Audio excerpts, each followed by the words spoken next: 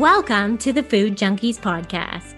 Here, we aim to provide you with the experience, strength, and hope of professionals actively working on the front lines in the field of food addiction. The purpose of our show is to educate you, the listener, and increase overall awareness about food addiction as a disease with abstinence as the solution. Here, we talk about all things recovery. Most importantly, how to thrive rather than just survive. So stay positive Make a change for yourself, tell others about your change, and hopefully the message will spread. Welcome to the Food Junkies podcast. My name is Dr. Vera Tarman, and I am your co-host today along with Clarissa Kennedy. Dr. Federici is a clinical psychologist and the owner of the Center of Psychology and Emotional Regulation in Midland, Ontario. She specializes in the assessment and treatment of eating disorders, personality disorders, and trauma. She serves as an adjunct faculty position or professor at York University and is a distinguished fellow of the Academy of Eating Disorders. From 2019 to 2022, Anita served as the elected co-chair for the Suicide and DBT Special Interest Group and currently sits on the Special Interest Group Oversight Committee for the Academy of Eating Disorders. Dr. Federici has developed a robust training program as well as a wide network of allied health professionals. She also runs a treatment center in Midland, Ontario. Dr. Federici has authored over 375 peer-reviewed research articles, book chapters, conference presentations, and lectures,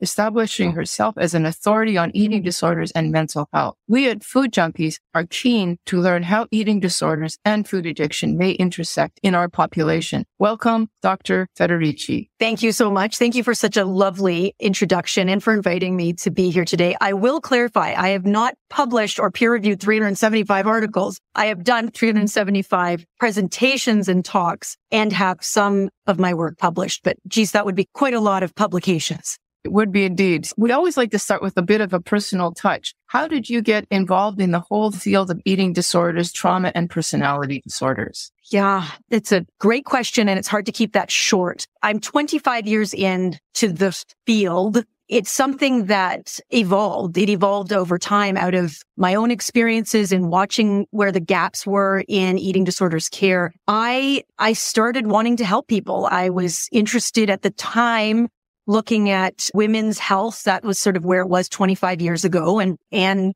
eating disorders are something near and dear to my heart, both in terms of lived experience and, and within my family of origin. It was a natural interest from the beginning. And as I grew up academically in the eating disorders field, to me, it was just eye opening to see what we were doing well and what we were not doing, which is how I got into trauma and what we call personality disorders. I don't, I don't even love that terminology to be honest with you. But this notion of what are we doing with people who have an eating disorder who also have these co-occurring difficulties like trauma, like severe emotion dysregulation, like suicide and self-injury. And I grew frustrated with sort of standard approaches, to be honest, which led me to move into a, a dialectical behavior therapy uh, model, which made a whole lot more sense to me. And so the rest of my career has really been looking at who is most misunderstood, who is most underserved, and how to do better. It's right in the trenches, isn't it? Yeah.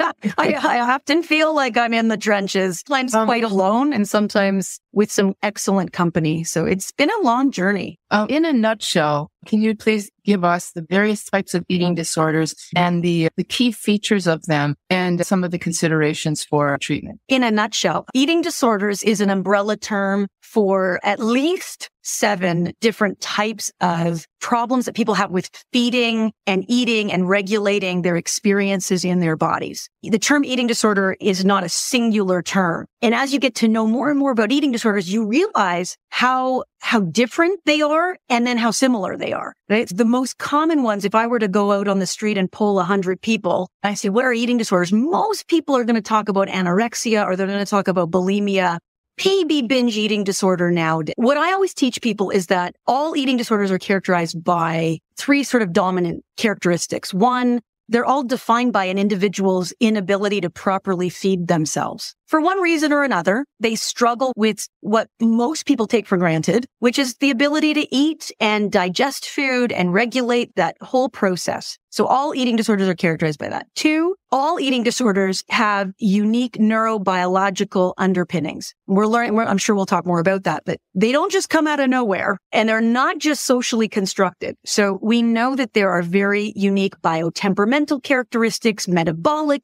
issues that hormonal issues that define and shape the development of an eating disorder. And then we know that eating disorders are also come with other characteristic symptomology, body image, some body image distress, fears of food and eating, perfectionism, all kinds of different things that define it. So it's not disordered eating. It's actually an eating disorder. So these are very severe illnesses that, that carry high mortality rates. So pretty dangerous stuff in a nutshell. So that's the first part. Before you go on, I was really struck. You're making a distinction between disordered eating and eating disorders. Can you just elaborate on two sentences with that one? I think it's actually difficult in the world we live in. I think disordered eating has become the norm. So I think it's actually really hard sometimes to tell, is this someone that is eating in a way that, that, that is not, that, that sort of is an extension of diet culture and they're really not feeding themselves well versus an eating disorder. A lot of people have disordered eating habits and many do not meet the diagnostic criteria for an eating disorder in which those behaviors are causing physical health problems, relational issues, quality of life issues, right? So one of the key differences is that people with eating disorders, there are significant functional impairments that you might not see, don't see with people with disordered eating. Thank you. We might come back to that because that might be the link with the food addiction. You mentioned something about the neurochemistry. Please tell us a little bit more about that. This to me is one of the most fascinating areas of my career, which is ongoing research because it really is ongoing. You and we could meet in a year from now and there's, I'm probably going to have more information to tell you. Even in the last five, ten years alone, we have learned so much more about the neurometabolic underpinnings of eating disorders that when I started 25 years ago, none of us had any idea about. So for, here are two key ones. One is a landmark trial led by Cynthia Bulik and colleagues. This is a multinational, international study looking at the genome of people with anorexia nervosa compared to those without anorexia. One of the key findings that I will highlight today, and there are several, but one that stands out to me is that people with anorexia have differences. They would say abnormalities, but they have differences on the two of the chromosomes related to metabolism. If you think about metabolism, what does metabolism do? What is metabolism? I'm going to put you two on the spot for a moment. What do you think? Meta- what? Yeah. It breaks down the food that you're eating. Breaks down food. Usually we think of it in the context of insulin resistance or insulin sensitivity. I don't know if that's where you're going, but that's usually where we think about it. But or our ability to use energy, right? Yeah. Yes. Some way. Yeah. yeah. Yes. It's all of these things, right? It's actually quite a complex process or system in our bodies and that regulates digestion, how food is absorbed in the body, energy expenditure, insulin resistance, like all of these. Now, how fascinating is it that people with anorexia actually have quote unquote abnormalities or they're on these couple of chromosomes? That to me makes so much sense. Can I and challenge you there for a second? Yes. How do we know that it's not that the eating itself has created that metabolic abnormality? I think that's Which came first. That's an excellent question. I, and I don't know that anybody can know that yet. I think that we have, because again, you'd have to, you'd have to follow up basically everybody, children and longitudinally figure out who developed an eating disorder, who didn't and what was different. What we do know right now is that regardless of whether it's chicken or egg, yeah. there's definitely something going on in terms of metabolic functioning. And Cindy Bulik and colleagues have actually argued that anorexia, at least illness alone, because we don't have the data yet for other eating disorders, that should be reformulated as a, a neurometabolic illness, not as a psychiatric illness. Just fascinating to me. The other one that I think is really interesting, and then we can talk about treatment and, and these sorts of things, but the other one is the explosion of research looking at ARFID. So this is, you know, right, restrictive feeding intake disorder, ARFID, usually starts in childhood and is characterized by, again, an inability to feed oneself for different reasons. And there's three subtypes. One is a subtype in which the person has a lack of interest in in eating. They just have low, uh, they, they talk about not being hungry, etc. Another one is fear of aversive consequences. So these are often people who have had a choking experience or an anaphylactic experience and then food becomes dangerous. So they learn food is dangerous and they're not eating enough. And the third is a, a, sensory so that there, there are just oral sensitivities that make eating and, and taste very different. So one of the things that, that we know now, based on a recent study, is that if you look at the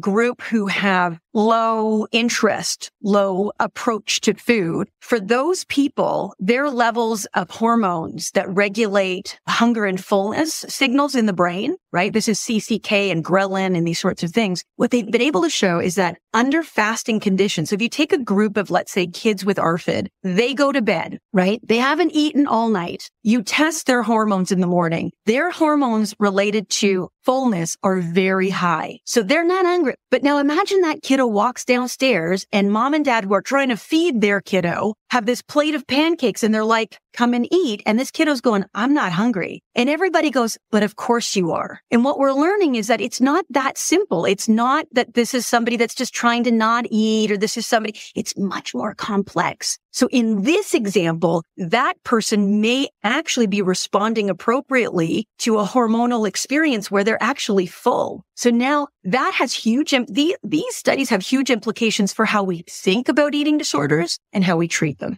That's really quite fascinating. Do you have any kind of research that looks at bulimia and the neural hormonal abnormalities? Like, for There's, example, their leptin is resistant or something like that. There's more, again, it's, it's so, it's evolving and there's so much coming out right now that it, I'm trying to stay on top of it. Uh, you know, I, and so there are a number of studies published papers that actually review what we know to date, both in terms of anorexia, ARFID, bulimia, and binge eating disorder. Anorexia and ARFID are getting the most attention right now. And I also know that these large groups are expanding that to include, I think, almost all of the eating disorders. There's definitely changes or differences. And that has led me to really, whether I have the data or not, I really do believe that there are underlying neurometabolic factors that drive and maintain. When we talk about food addiction, which we'll do a little bit later for those of you listening, there is again a common intersection because we look a lot at ghrelin and leptin and their abnormalities in food addiction because there is a backdoor. Dopamine affects ghrelin and it affects leptin. So this is just fascinating how isn't it? Yeah. Yeah. We talked a little bit about the neurology. Can you say more about the role of genetics in general or um, then of course of the environmental factors in the development of the eating? Yeah. One of the things that we always say in the eating disorders field is that genes load the gun, the environment pulls the trigger, right? You've heard that sort of thing before. So when I educate people about eating disorders, I talk about a number of different genetic underpinnings. Now, again, I can't do a blood test with somebody and go, Oh, you, you have this. It's not that specific. I, I talk to them about the research. I talk to them about metabolic, possible metabolic differences, hormonal differences. We know that eating disorders run in families. Uh, when you look at twin studies or adoption studies, so there's things like that. I also talk uh, to people about sensory and perceptual differences that underlie some eating disorders. For example, there's that characteristic image of somebody who looks in the mirror and they, they show somebody that is an average body type and they look in the mirror, but they look, they experience themselves as much larger. And then everybody wants to go, Oh, but you don't,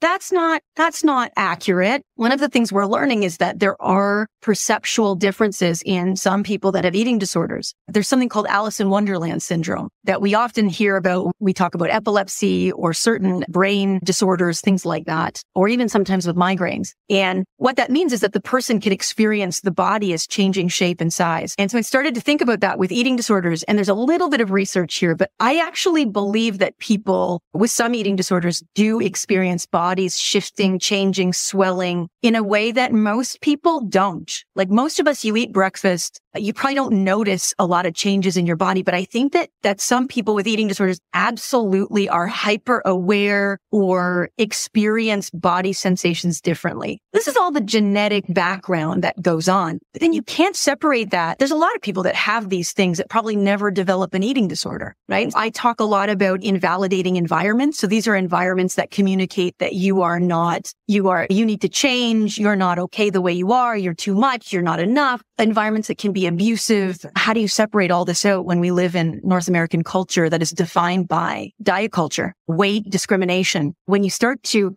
if you have this biology and you have to grow up developmentally in this kind of an environment. My gosh, it's like the perfect storm. So I think these things are some of the key pieces. There's so many, there's so many sociocultural factors to think about with eating disorders. You mentioned this. It crossed my mind, the whole body positivity movement. How does that fit into the eating disorder model? Is that a good thing or a bad thing?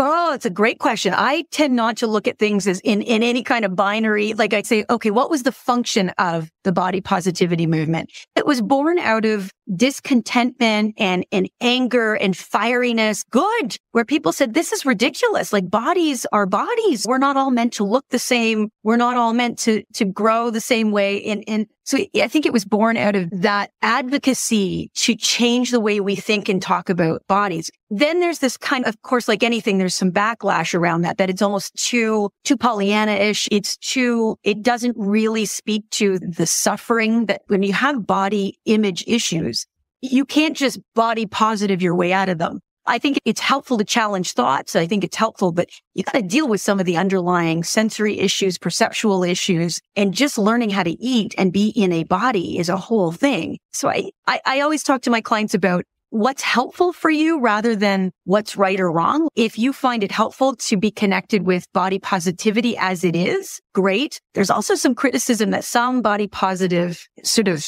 ambassadors, if you will, still promote body positive if you still have makeup on and if you still dress this way, right? As well, are we trying to do health at every size? Are we trying to just say, listen, bodies are bodies? Uh, genetically, we're not going to look the same. It might also be an, uh, an apology uh, for letting people continue to eat the way that they are, they're eating, it, which aligns with what you're saying. We're not really addressing the dynamics behind it. I think you have, I think it's not a treatment for eating disorders. Yeah. It's a sociocultural movement. It, it's not, so I, I wouldn't say that you're treating an eating disorder by becoming body positive. I think some people may find solace because sometimes you find, you often find like-minded people that can always be helpful and supportive, but that doesn't address all of these other things that cause and maintain these serious illnesses. So okay. I just had a quick question about that since we're talking body right now. How is it that you would work with a client that struggles with maybe body image in regards to eating disorder? Is it more yeah. of a body neutrality? Is it more of embodiment practices rather than Yeah. Yeah. What have you found to be the most effective? Because I know in our field, I know it's still bio individual, but I know in our field that's still something that shows up all the time. It's usually we oh, maybe oh, yeah addiction. And then we do some of the emotional psychology work. And then the yeah. body image piece is that last piece that really yeah. takes, it's a lifelong journey, to be fair. It is. I think that's well said. I think that, and the field is still just grappling with what are the most evidence based ways of helping people with body. So what I'd first say is working with can depend on where somebody is in terms of the severity of their symptoms. So if I have somebody that is highly symptomatic, malnourished, maybe medically unstable, I'm probably not going to get to a whole lot of great body image work in that. In, we also have lots of evidence that the more malnourished or, or unbalanced one's eating, the worse people feel about their body image. So it's hard to treat body image and start to speak about embodiment if somebody's really in the throes of that. We also know that the more people are attached to social media, the worse they feel about their body. So there's all these things that you have to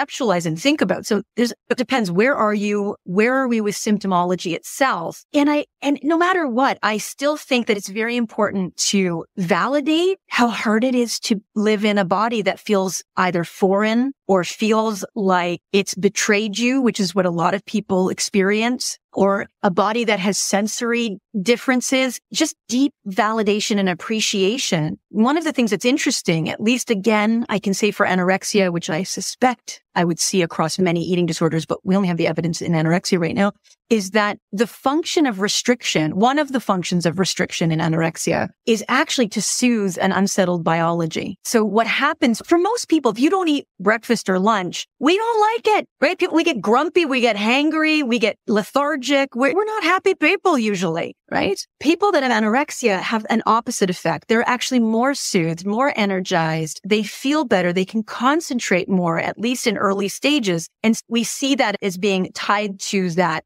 underlying unsettled biology. So you have to think about the function and how somebody's coping. So when I get to body image, I know I need to help them understand their body image stories. So I do a lot of that work. I have to make sure that they have a skill set to tolerate discomfort. Like part of learning to feed oneself and, and recovering from an eating disorder means you, you're going to have to tolerate some things that do not feel okay. That's a hard skill set if you don't have it, which is often where we see symptom substitution, right? We stop the eating disorder symptoms and then all of a sudden you have other symptoms that come in, which to me speak to that underlying unsettledness or that lack of skills that somebody needs. Then you can start to talk about, I'm a huge support. I love yoga. I think non, like true yoga, not mere, not hot yoga. Hot yoga if you're in a, in a safe space, like not right. hot yoga if you're medically unstable. Mm-hmm. I think that yoga without mirrors and without, you don't have to wear Lululemon to go do yoga, right? Like, right? I think actually can be incredibly healing. And the last thing I guess I would say is I do practice more from a body neutrality perspective, not body positivity. I do spend a lot of time working on learning to speak about your body without judgment. So you don't have to love your body. You don't even have to like your body. And can we reduce that harshness this is your earth suit. Okay. This is it. Here it is. I can't change it, right? This is the earth suit. So how can we learn to live with as opposed to against our own biology, our own sociocultural experiences?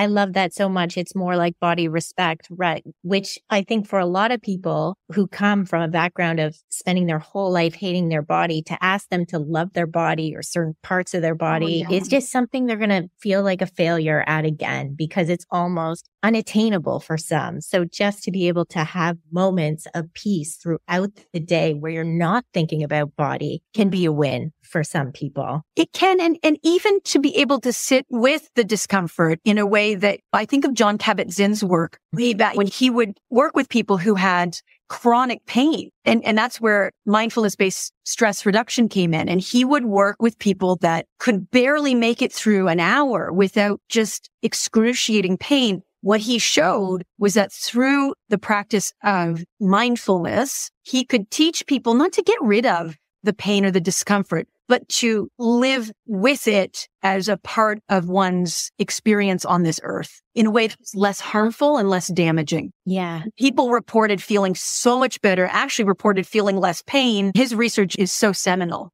And so is this, you spoke several times about distress tolerance and how important that is in working with eating disorders. Is that why DBT or dialectical behavior therapy, for people who don't know what it is, your go-to maybe treatment more eating disorders? Yes. And yes. And the skills in DBT to me are make up a quarter of what actually DBT is. And people often think of DBT as just distress tolerance. And I'm like, ah, yes, for sure. I think we could all benefit from distress, learning how to tolerate distress and conflict and tension and, and all kinds of things. Why I use DBT, and I use a, a particular type of DBT. We call it MED DBT for multi-problem eating disorders. One, because it's built on a dialectical philosophy, which the whole notion of the treatment is that there's multiple truths happening all at the same time. I am not the expert all the time. I'm constantly looking for what I'm missing and integrating opposing views and opposing needs so that we can move forward.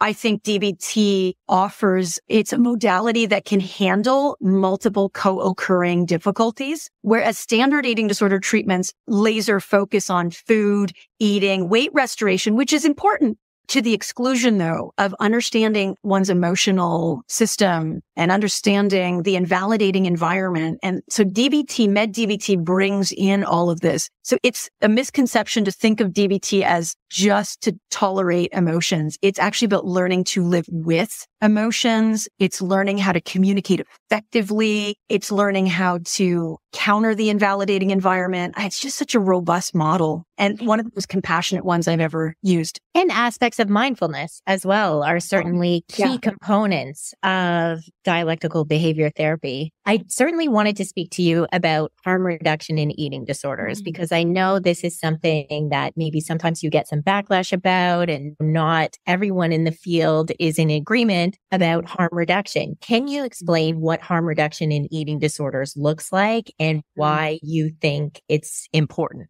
Harm reduction in general is an approach that has been used across lots of uh, mental health programs to find ways of working with people, meeting people more where they're at, trying to minimize damage as the goal, at least initially, or maybe for a long periods of time. But the idea would be, so for example, if I have somebody that's purging, I may be looking at, okay, so the next time you purge, can you talk to your doctor about whether you need potassium supplements so that you don't get into a medical instability crisis, as opposed to we are 100% working on full recovery, whatever that even means, right? So harm reduction in eating disorders, I don't think has been super well defined, to be honest with you. I think most people feel very nervous. Most clinicians feel very nervous about that concept because, because one, we know that the longer people go with symptoms, the more damage that causes to the body. That's a dangerous thing. We know that eating disorders have high uh, mortality rates. The stat out of just the US alone is that every 52 minutes, somebody dies as a direct result of their eating disorder. And uh, most of that is due to the damaging effects of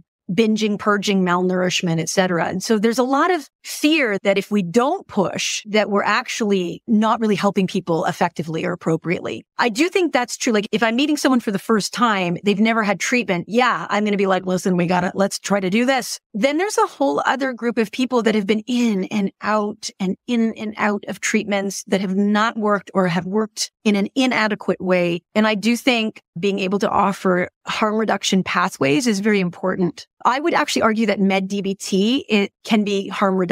And so what I mean by that is when I start working with somebody, I, the, the first goal is not full recovery. The, the first goal is, are you willing to stay alive so you and I can see what we want to do? That's very harm reduction.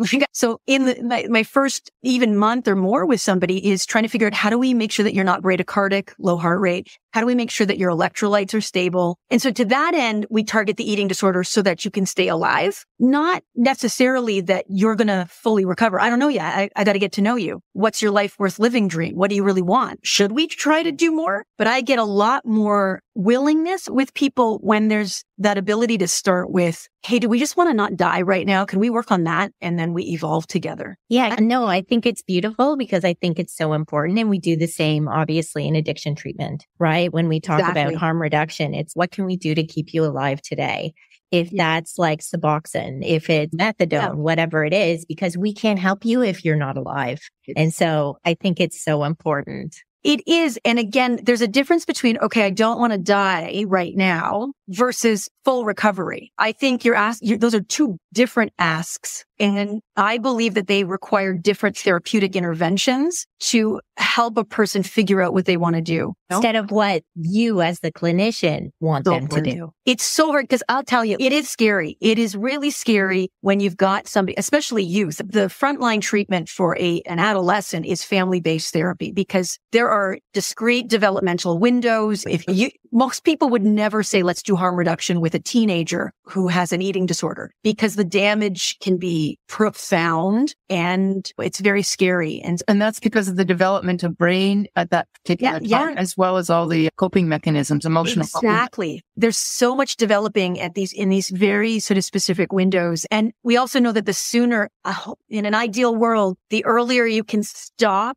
the eating disorder, the better the outcome. If we were just talking about the treatment of adolescents, I would be talking much more about FBT approaches. Can you talk a little bit about that? Because I think it's very sure. interesting as well, because I think for a lot of probably even our audience, some of this started in our youth. Yeah. Oh, for sure. For sure. And some of your audience may have children now that are struggling. Right maybe early eating disorder symptoms or maybe more. And so FBT is considered the gold standard. FBT mm-hmm. stands for family based treatment. And if you Google it, you'll find all kinds of information on it. FBT, like I said, gold standard for anorexia and bulimia. There are now adaptations of that for ARFID because you do need to treat ARFID differently than you treat anorexia or bulimia. It is uh, a manualized treatment. That means that you would work with a clinician who empowers the parents to help feed their child. And so it's, it's like having a, a coach that really helps the parents figure out how they're going to feed their child and cope with how difficult that is. In FBT, like we do in, in lots of treatments, we see the family as integral, integral to the process, unless there's some extenuating circumstance that would make it not safe. It usually takes six months to a year and it works in phases. There's three stages. Stage one is the parents feed the child. Stage two is this kind of helping the adolescent start to take back some of that responsibility so they can start to feed themselves. And stage three is making sure that they're managing relapse prevention and getting back into their lives, that kind of thing. Yeah. What you're describing is so perfect for food addiction as well. And for people listening, we're going to do a second podcast just uh, focusing on that. I'm really interested in your opinion in the food and the eating disorder community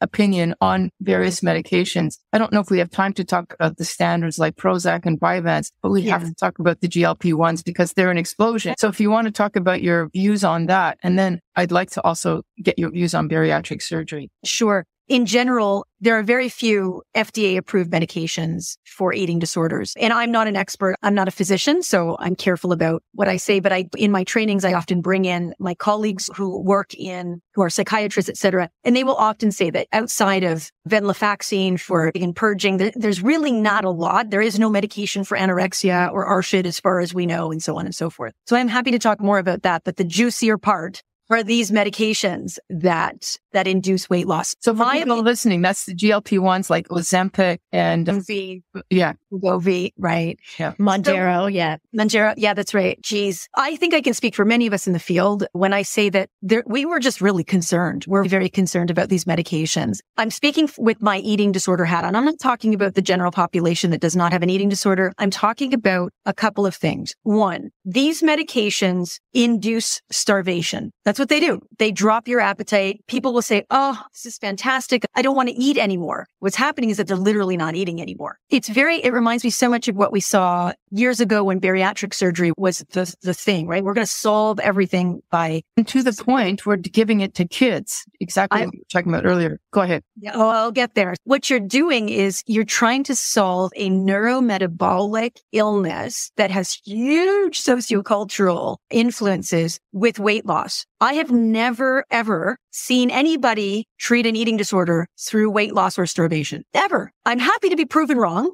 But I've never known that or seen that. In fact, that's the last thing you want to do with someone that has that, those genetics or those neurometabolic underpinnings, because what it does is it just activates the eating disorder. So if anybody has a history of an eating disorder, if anybody has a current eating disorder, I would not recommend that you are on these medications. And dialectically, because I know multiple things are true, of course, people with eating disorders are being prescribed these medications. And I don't judge them. Of course, they, why wouldn't they? That's the influence of diet culture. So people would say to me, when Ozempic was being prescribed, some of my colleagues were upset with me because I would continue to see patients that were taking them. And they'd say, you are not aligned with eating disorder recovery because you are supporting weight loss and that's, you're not an ally. And I, I said, I think I would not be an ally if I abandoned people who are, are just doing what culture has imposed upon them. These are people that have often been bullied for weight and shape, who feel extremely awful about their bodies. And now there's this panacea, right? I would rather work with them to make sure that they don't get medically unstable. I'd rather work with them to really make sure that they're treating their eating disorder and not just, and that's exactly what happens. I have so many people now who say to me, I, I wish I could get off this. This has ruined my life. They're losing their hair. They're medically unstable. And it's just really scary the way that it's just being used. We don't even have research studies to look at the long term effects of this on people with eating disorders. It's very dangerous especially with uh, young people. We don't have uh, research. Like it, it's not just weight loss. It's uh, oftentimes with obesity comes di- diabetes, and it is that is the primary treatment for diabetes, or one of the primary treatments. But what, what's your thoughts about with children, and how would you treat somebody with an eating disorder who's on it where their appetite is artificially suppressed. Again, I, I am, cons- so a few things. I think that the way that I've always worked, whether someone has diabetes or epilepsy, there's lots of medical recommendations. If somebody has an, a co-occurring physical illness, right? So I, it reminds me of working with a young person with epilepsy and there were very particular diet regimes that they needed to follow that were quite restrictive at one point that were actually making the eating disorder worse. And so again, multiple things are true. So how can we eat in a way that, that mitigates the epilepsy and does not activate or reinforce the eating disorder. So I tried it like same thing with my clients with diabetes, right? Okay. Again, but I'm not a weight loss person. So that's the thing. Like I don't ever, I talk about normalized eating. I talk about movement. I talk about, but I'm not someone that believes that weight loss is going to solve all of the problems. We also know it's very interesting when we, we teach a lot about weight science, which is this other piece around. If you look at the data on weight and body weight alone is not as predictive as we hear that it is in terms of medical complications. What is actually more predictive of medical complications is weight discrimination and weight bias. So people are more likely to not seek medical care, to not feel safe with medical care, to not even get the medical care that they need because so many people, physicians, let's say, look at the body weight and they won't even treat the other things. They're so focused on weight when in fact, most people, there's lots of people that live in all kinds of body shapes and sizes that are not unhealthy. So it's the science around body weight as an independent predictor is not as clear and clean as as we're told it is. Yeah. Okay. Are your concerns about bariatric surgery more or less the same as they are about the GLP ones? Or did you I would say so. I oh. would say so. Because one of the things that's very typical about post bariatric surgery is sure. there is a need to restrict food, right? You just simply well, can't. but this is it. When you remove or, or tie off parts of the stomach, that person, this is the problem. This is what we all, we see this all the time. We have somebody that goes in for bariatric surgery that has an eating disorder, never been treated. They get bariatric surgery. Now they can't eat or they can and it's, it can be dangerous and they still have an eating disorder. So we've had people that are still binging and purging post bariatric surgery, which can be very dangerous because now physiologically your body can't handle that. There's also post bariatric surgery, things like dumping syndrome and like where people start to develop really dangerous hypoglycemic episodes. And it, so again, what happens is your, the person learns to avo- tries to avoid eating at all costs. And that the eating disorder just thrives on that. It's very painful. And I'm very careful not to blame clients because I think it's so easy for people to go, Oh, these shouldn't have had bariatric surgery. These shouldn't be on Ozempic. No, the responsibility to me is squarely on the pharmaceutical companies and the marketers who to me are not doing their due diligence. People are trying to survive and people feel really lousy about themselves. So we're on the same page. Yeah. As a segue into our second podcast, which is about food addiction, can we just talk about general addiction now? What happens when you have somebody come in with an eating disorder who has a history of a prior addiction or a concurrent one like cocaine addiction, which restricts appetite? What do yeah. you fix that? And so uh, what, what, happens when people get treated for their, their eating disorder? Do they pick up another addiction? So I'll throw that ball at you. I, I think that's an excellent question. It's actually quite common that people that struggle with eating disorders also have substance use difficulties, etc. One, you have to assess the situation. Somebody that, that has a cocaine addiction, I have to know whether or not they need a much higher level of care in order to manage that. So it's hard to manage that outpatient. So it depends. Where are they with their substance use? Do they need a period of time where at least we can try to get them off that or reduce that? Because it could be very hard to treat an eating disorder if somebody is, has an addiction to heroin or cocaine or something like that. Because again, like you said, the very nature of those drugs is to suppress appetite, uh, rev up metabolism. You also have somebody that's really psychologically unstable. Like the ballerina whose job, career is based on weight. Yeah. It's the influence.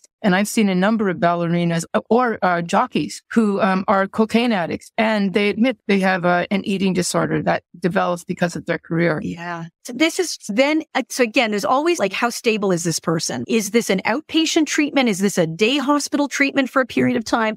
Is this inpatient? That's always my first, who's sitting across from me? And usually those co-occurring things also come with a trauma history. Not always, but I'm, I want to know the big picture. Is there suicide? Is there self-harm? Is there what, cause they often fall together. So I start, I believe that good treatment stems from a very good conceptualization and one that is a collaborative conceptualization. Other things I guess that I would point out is that I would teach people about how they make sense. So a big part of what I do is the you make sense conversation, right? Which is, of course, you're addicted to cocaine because look at your history, look at your genetics, look at this.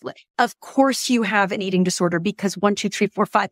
So that the person, it's like the two of us sit in a room putting a puzzle together. Like I, when it's, oh, we've got, of course, this is what goes on, right? Of course, you don't want to stop using cocaine because that's how you maintain your ballerina regime. Of course, holy smokes. Then you got to do some commitment work. Like, do we want to change this thing?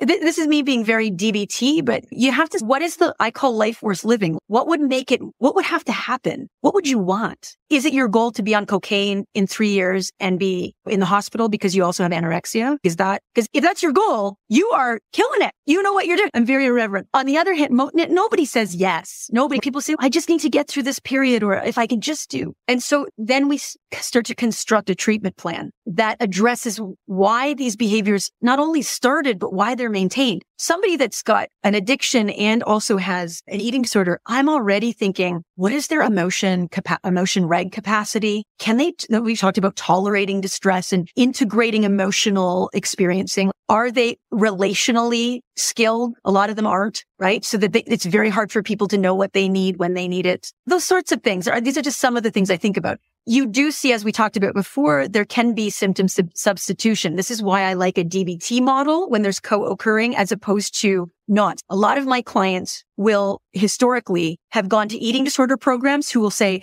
Oh, you have an addiction. We can't do that. You're going to have to go take care of the addiction. You know this or vice I see that all the time. I see right. that or, all the time. Yeah. Or they'll go to a substance use treatment program and they're stellar at the substance use, but nobody's working on helping them eat and deal with weight issues and body image. And right. And so there's this, they, they float around the system, not really getting what they need. And the, the best way I know how to do that, the, the experience that I've had is that DBT, med DBT particularly has allowed me to do both of those things simultaneously. Yeah, absolutely. Because I certainly know like anytime in my own personal history, if I was taking care of the addiction, then the eating disorder would come up. But if I was oh. in the addiction, the eating disorder was quiet. Thanks for joining us this week on Food Junkies Recovery from Food Addiction. Make sure to join our Facebook group, Sugar Free for Life Support Group. I'm Sweet Enough. You can subscribe to our show in iTunes or Stitchers. That way, you'll never miss an episode. While you're at it, if you found value in this show, we'd appreciate a rating on iTunes. Or if you'd simply tell a friend about the show, that would help us out too. Don't forget to pick up your copy of Dr. Tarman's book, Food Junkies, which is available on Amazon. If you have any additional questions, both Molly and Clarissa are food addiction professionals and work one on one with clients. You can find their websites and email addresses in the show notes. Be sure to tune in every Friday when our new episodes drop. As Vera loves to say, the power is ours.